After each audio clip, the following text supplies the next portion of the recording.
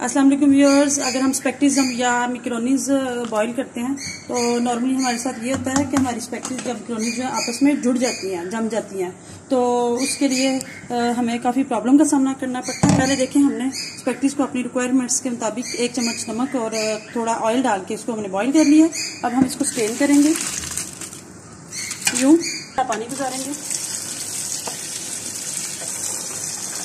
देखें।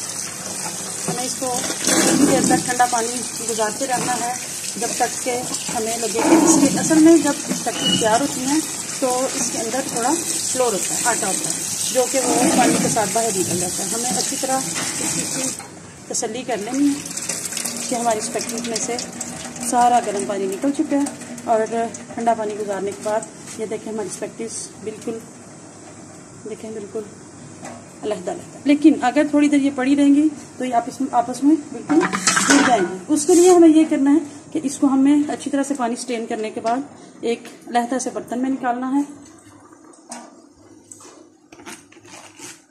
और उसके ऊपर हमें two tablespoon cooking oil two only two tablespoon बहुत ज़्यादा नहीं only two tablespoon cooking oil add करके इसको हमें अच्छी तरह से यूँ मिक्स करते हैं।